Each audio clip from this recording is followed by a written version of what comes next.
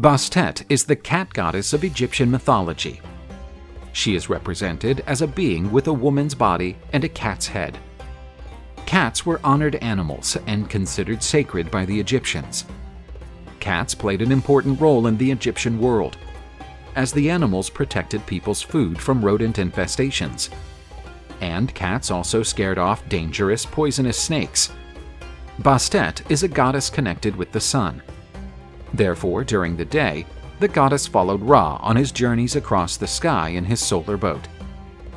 During the night, the goddess took the form of a full cat, and she protected the world against the terrible serpent Apophis. The goddess was worshipped throughout Egypt. To harm any cat was a terrible sacrilege. The perpetrator of such violence could be sentenced to death. Cats were considered family members. According to some accounts, when a house was burned down, cats would enter the blazing dwelling to help the residents escape. Sometimes these cats seemed to die in the flames, but thanks to the goddess Bastet, they would come back to life, reinforcing the popular saying of the cat's nine lives.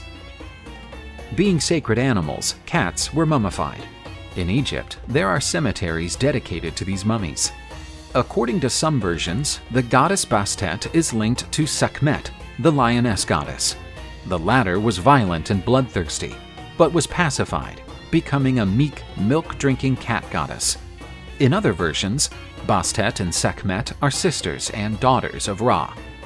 Even with the end of the Egyptian god cult, cats continue to look down on men, hoping to have their divinity recognized once again.